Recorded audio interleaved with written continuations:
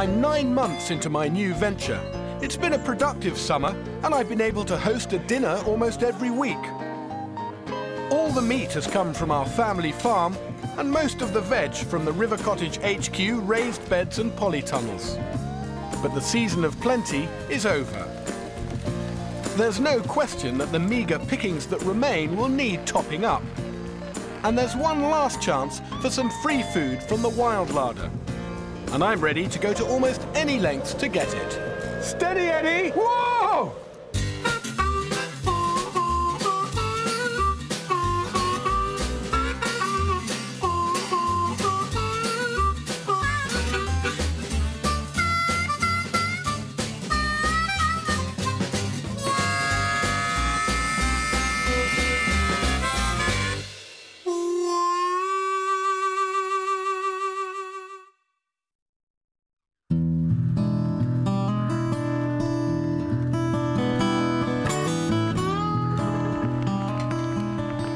Autumn has arrived in Dorset and the weather has taken a turn for the worst. Down at River Cottage HQ, the summer veg is all but gone. The family farm is moving over to the winter regime. The best beef steers and fittest lambs have gone to slaughter, and the remainder will inevitably lose a little condition over the cold months ahead. The ewes will soon be put to the ram. But there's one more meat harvest to be claimed in the poultry department. I'm hoping I've got enough fattened roasting birds to make chicken oh, the main course of an autumn feast. Yeah, had a good good breeding season. Yeah, you, you've had a good breeding season Well, your birds. well, the birds, well, I hadn't done bad. My poultry minder, Richard Hicks, has popped over to help me choose the right birds. We've got 30 odd youngsters here. Yeah, very good. It's the boys I want for the pot. The girls are more valuable to keep or sell to other smallholders as egg layers. The only problem is, they all look the same to me. Well, with the older ones, we should be able to tell at a glance. But with the younger ones, we'll try a little trick of carding. Before I can find out what carding is, Oscar's sent into the coop to flush out the birds. Always been a believer in child labour. Send- Every bit, every bit. okay, we want one at a time out, out of there, Os. Not one. This is the sort of size where I'm really struggling to tell whether it's a girl or a boy. Yeah. See, they, they can be very difficult, but we're, Mature cocks are easy to spot on account of their crowning combs. But as plump juveniles, the girls and boys are hard to tell apart. This is a little bit more difficult because you see, he got a bit of comb and he got a bit of wattle. It could go either way. It could, he could go either way. So Is this where you get your card out? let's, yes, let's just give the old card a little, little, little try here. Apparently, a pointed neck feather means a male bird. All right, now we see what we got here. That's an look. individual feather. See what we got here? We got pointy ones. Sorry, mate, you're a cockerel. That, uh, yes. Well done. Females have more rounded feathers. See, these feathers are nowhere near so pointed. That would be a pullet. That's a young hen. In all, I've got over 30 birds to card. That's much more rounded, isn't it? Rounded feathers, isn't it? From the way he was trying to dodge the pot, I think this could be a cockerel. Once sexed, they're separated into two pens. She can go on the ladies' side of the fence. That's right. One for the egg-laying lasses, the other for the cockerels. They'll be finished on extra rations to be ready for my autumn feast. Come on, boys. Chickens are probably easier to sex than some of the human beings we come across. take out your new. Take out your new. Now take your hat off. You think think I'm a bit ambiguous? No, now, look, now look here now, Hugh. now, who's the boy and who's the girl? Well, I- I'd like to think that we're both boys. My autumn feast takes place in three weeks, so I've got a bit of time to work out how to do my birds justice in the kitchen. After a diet of corn and maize and bugs and grass, I'm confident my cockerels are going to be tasty. But they have been running around in the field for almost six months, so they could just be tending towards toughness. So I have to find a way of cooking them that keeps them as moist and tender as possible. And to achieve that, I'm going to get some help from a local potter. Tim Hearn does a fantastic line in wood-fired stoneware, and I've commissioned some traditional roasting pots, known as chicken bricks, in which to cook my cockerels. Good to see you. Sorry, I've got clay hand. That's all right. I expect I'll have clay hands a bit later on. I've arrived in time to see him make the last of my bricks on his wheel.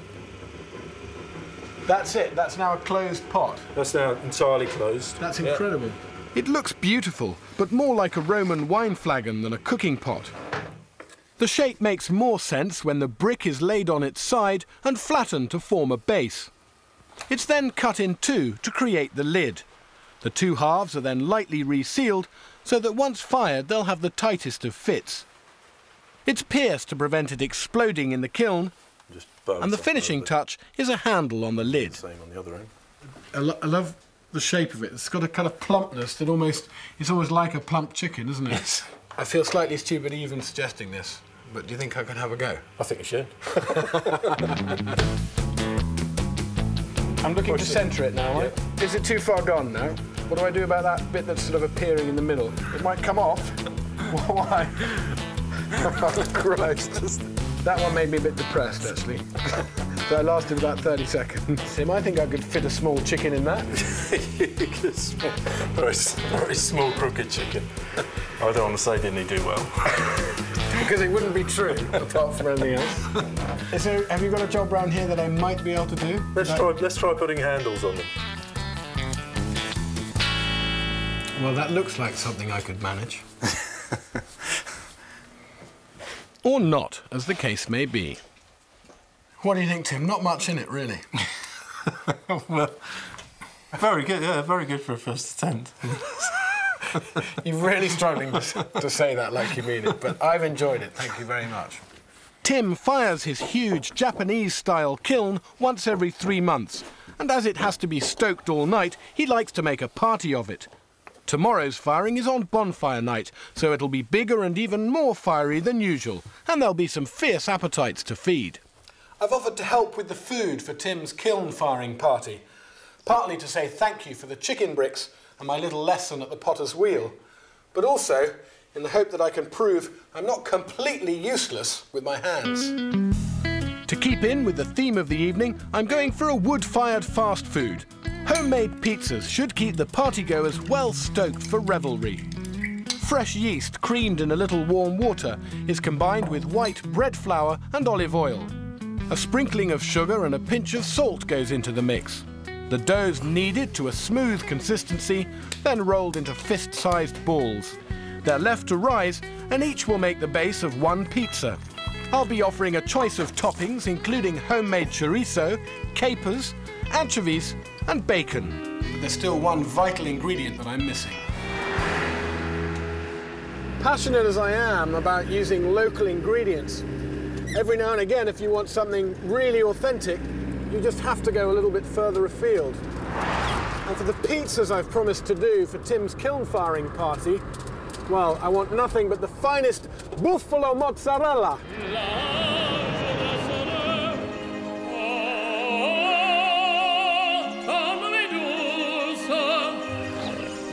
The best mozzarella is made from the milk of the Italian water buffalo. The unique texture is achieved by heating the curd until it can be kneaded and stretched. The real thing is definitely worth travelling for. Buongiorno, signores. Hello, Hugh. How are you doing? How are you, Mike? Very well, thank you. At least as far as Devon. Oh, they look lovely, fresh from the tub. I've just made them just for you. Oh, that's actually. fantastic. Horace and Michael Greenaway are the only buffalo mozzarella producers in the UK and have been making it at their family run dairy farm in Devon for three years now. This is um, beautiful, 100% buffalo milk. Oh, can, I, can I just sneak, have a quick Of sneak course you preview? Have one now. Yeah.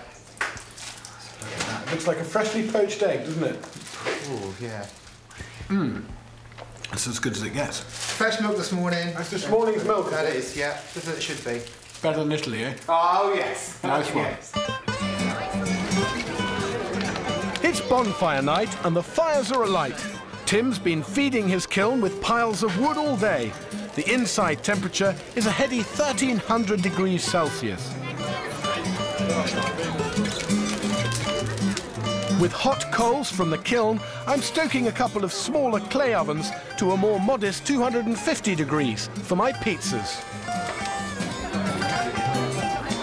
It's all blissfully simple. Just flatten out your dough, give it a smear of tomato sauce, and choose your toppings. I like mine with a fiery garnish of whippet's tail chilies. Is this a dry run or is this for fool someone? Well, that depends what happens. Uh, if it's incinerated, then it's a very dry run. Look at that, though. Look at that.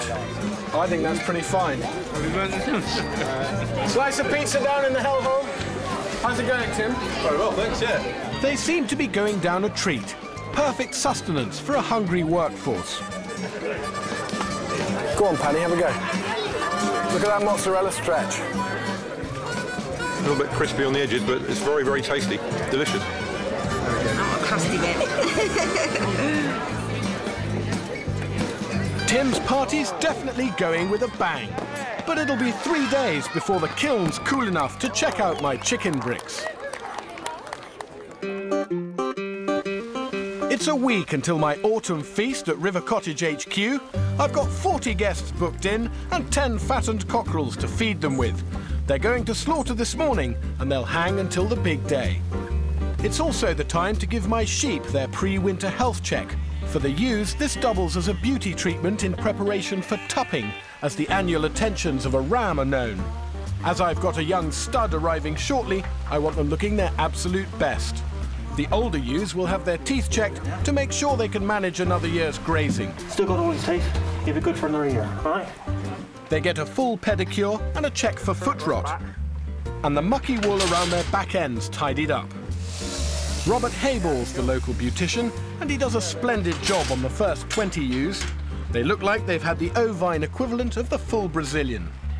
And he's left one lucky lady for my attention.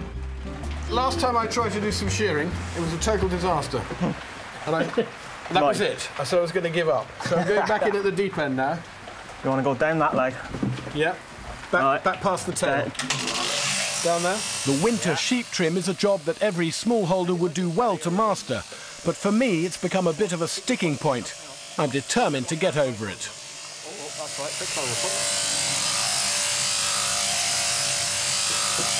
gonna get that. You make a better shepherd than you do a tractor driver. Thank you, Bernie. I shall take that as a compliment. Not doing too badly, am I? Oh, very well. It's not the smartest rear end in the flock, but it's progress of a kind. Tim Hearn's wood-fired kiln has been cooling for three days. All the pots he's made, including my chicken bricks, should be cool enough to handle and bake to perfection. So it's time to break the sealed entrance. Let some of the heat out. There's a bit of heat in there. There certainly is. Wow, that is extraordinary. That is Aladdin's cave, isn't it? Look, some chicken bricks there. First chicken brick coming out. Oh, look at that.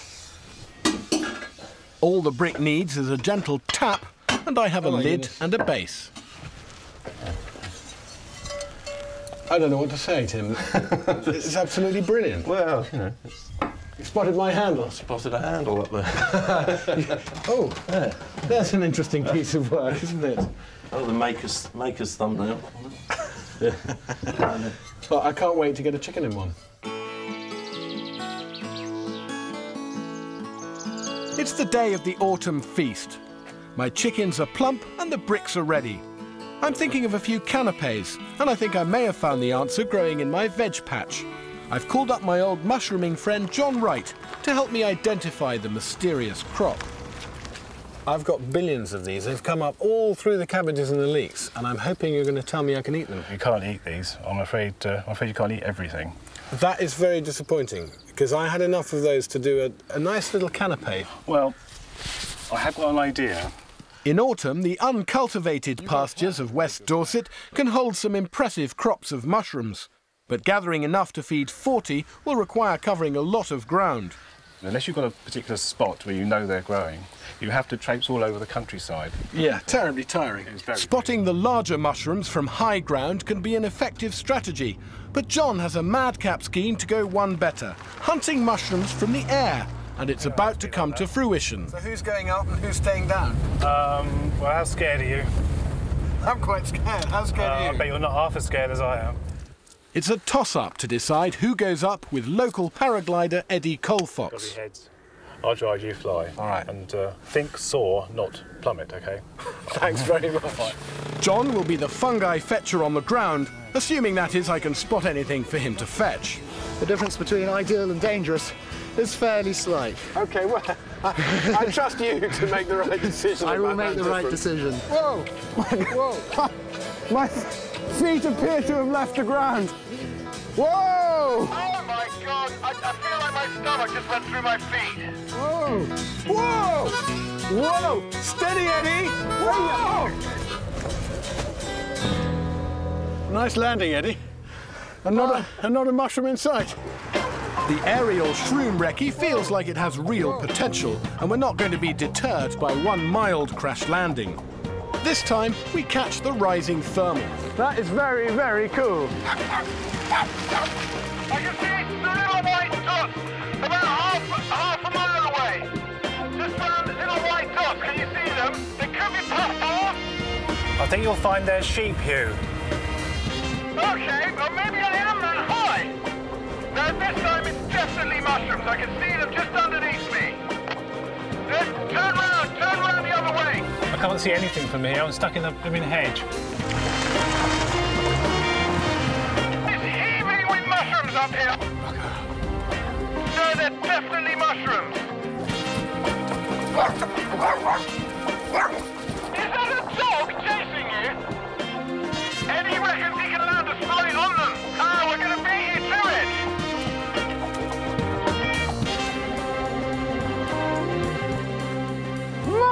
I can't believe it! Loads of them! Look at that! Landing here. Oh, nice landing. Fantastic. Look at that. The thing about that is it's quite like a parachute, isn't it? Parasol, Mary Poppins would be proud of us. Well, I still had to do all the running, didn't I? what do you mean? You had a car. Look at these. This is just what we want. Yeah. Good eaters, you reckon? Well, parasols are about the best. John's crazy plan has paid off. We've hit the fungi jackpot. Autumn's tastiest mushrooms, parasols, and they're all over the place. That one feels quite That's in absolute perfect condition, that one. Now, further up the hill, I've, I've seen some, I don't know if it's the same kind, but they're like round like a ball. Is that a, is that a younger parasol? Yeah, that's a young bird. That's like a drumstick. They're Like a drumstick, exactly. Yeah, Even right. better eating? They're much better. Nice little one there. Wow, that's a champion. Goodness me, that's enormous. That's like a football on a stick. It's like a huge lollipop. Yeah. Let's try and get all of this one out. Look at that. What a beauty. That's unbelievable.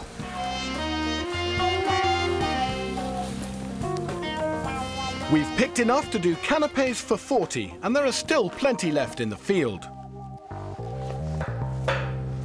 My cockerels, fully flavoured after hanging for a week, are standing by. Everything is in place for a successful evening, provided that my co-chef Gil and I can hold it together in the kitchen. Jesus Christ. We're trying to get the tough, stringy tendons out of the cockerel's legs. That's it. Pull. That's quite handy because that gets all those tough tendons Yeah. out of the thigh meat. You could string a tennis racket with that. Good. The giblets are removed. Oh, look at that liver.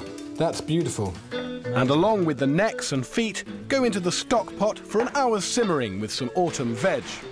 The dining room's getting a seasonal makeover, and we're dressing the cockerels for the bricks. They're going in with plenty of butter and all the autumn vegetables we're going to serve with them. A generous ladleful of the giblet stock will boost the flavour and keep the birds moist. The guests are arriving, and the birds will need a good hour in the oven. We've got one big oven there and one small oven there. We've got ten quite large chicken bricks. This could be a big problem. You know what? Look, if we put them all on the bottom and then put that on. I need to cook 10 chickens, but I only have room for seven bricks in my two ovens. That's 12 paying guests who could go hungry. Yeah, it's two. What about what? No. So we got the three to cook. No ovens. Um, Do you know what? I once cooked a fish in, in a dishwasher. did you? Yeah. What about the fire outside? Can you? The bonfire. Do you think that? Yeah, that we'll would cook work? them in the embers of the bonfire. we'll rake up some embers on underneath and build them up around the side. This is turning into a nightmare. To simulate an oven al fresco is going to need constant attention at a time when all hands are needed on the kitchen deck. Luckily, Gil's calm appraisal saves the day. Noticing that some of the pots are bigger than others, he suggests some jointing and redistribution of chicken parts. And we're saved. We're back on track, but we've lost time and we'll have to dazzle and distract with our appetizers and starters. Our parasols are dipped in egg, coated in breadcrumbs, and fried to an autumnal gold. These are looking great, Gil. They're served with a garlic mayonnaise. Check them out. God, they look delicious. The fruits of our labour.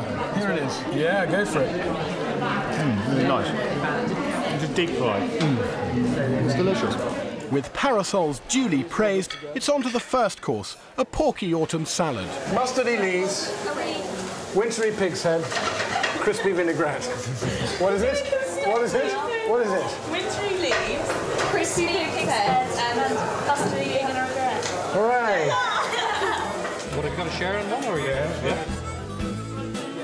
The chickens are out right on cue, and boy have the bricks done their job. Look at that. Beauty, isn't it? That is superb. The breasts are nicely roasted, whilst the legs and wings are tenderly steamed, and there's even a ready-made gravy.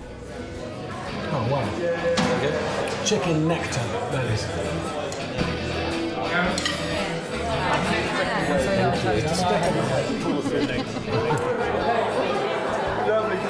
You've got room for one of these here, and there's one brick for every four plates.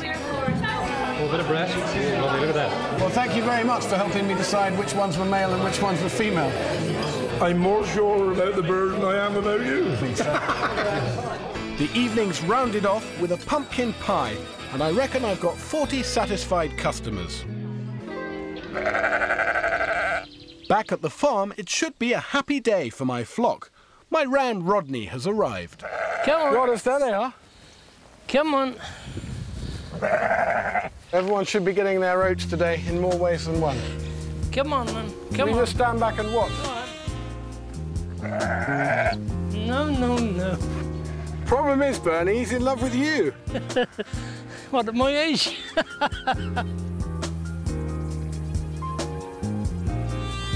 Shouldn't be long now. They're in a bit of a huddle. Come on, Rodney.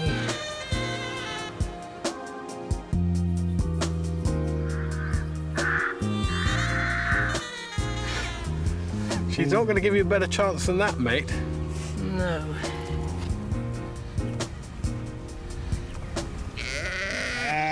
Well, that's a start, isn't it? I got a feeling he served her then. You reckon that was it?